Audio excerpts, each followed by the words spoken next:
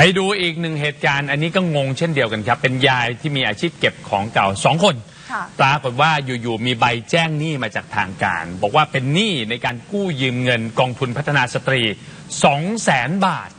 ยายบอกไม่รู้เรื่องเลย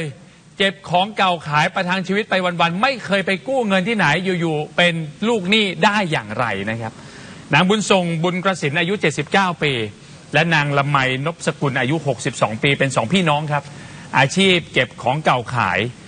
ได้นำเอาเอกสารทวงหนี้เงินกู้ยืมกองทุนพัฒนาสตรีของอำเภอบางใหญ่ที่นนทบุรีครับจำนวน 2 0 0แสนกว่าบาทเนี่ยนะครับ แล้วก็มีอัตราดอกเบี้ยที่ถูกเก็บนี่แหละ เอามาแสดงให้กับผู้สื่อข่าวดู ยืนยันเลยว่าทั้งคู่ไม่เคยไปกู้ยืมเงินกองทุนใด ๆ เลย และตนเองก็อายุมากแล้ว ไม่มีอาชีพ ไม่มีกองทุนไหน ให้กู้อย่างแน่นอนไม่เข้าใจครับ ก็มีอาชีพเก็บของเข่าขาย เออ แล้วจะใครเขาจะให้ไปไปร่วมเงินกองทุน เงินกองทุนมันต้องจับมือกันลงทุน เอออย่างน้อยกลุ่มหนึ่งสามคนหรือห้าคน คุณย่าคิดว่ามีคนปลอมแปลงเอกสารมีคนปลอมแปลงเอกสารและขโมยเอกสารของย่าไป ไปยื่นกู้ไปยื่นกู้ค่ะ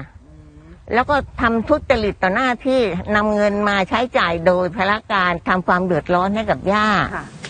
เนี่ยแหละครับ คุณยายนะหรือว่าเรียกตัวเองว่าคุณย่าบุญส่งเนี่ยก็บอกว่าทั้งคู่เนี่ยไม่ได้ไปกู้เลย ต้องมีคนปลอมแปลงเอกสารอย่างแน่นอน เพราะว่านอกจากรายได้ที่เกิดจากการเก็บของเก่าขายแล้วนะครับ ทั้งสองคนก็อยู่ได้ด้วยเบี้ยคนชรา 600 บาทต่อเดือนเนี่ยแหละครับประทังชีวิตไปวันๆเมื่อมาเจอหนังสือทวงหนี้จากทางราชการแบบนี้โอ้โห ตอนนี้อยู่ไม่เป็นสุขครับทุกใจเลย ก็ไปแจ้งความไว้ที่สพ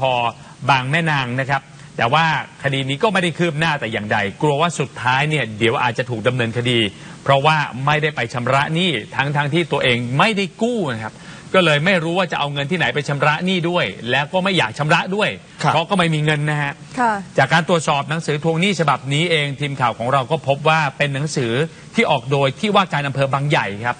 มีเลขหนังสือลงวันที่ 12 กุมภาพันธ์ปี 2563 ต้นปีเมื่อ 2 ปีที่แล้วนะครับ แล้วก็มีการแจ้งลดอัตราดอกเบี้ยผิดนัดกองทุนพัฒนาบทบาทสตรี ถึงคุณย่าละไมนพสกุล พร้อมใบทะเบียนคุมลูกหนี้ด้วยนะครับ ในชื่อโครงการกลุ่มอาชีพแปรรูปผลไม้ตามฤดูกาลจำนวนเงินกู้เนี่ยสองแสนบาท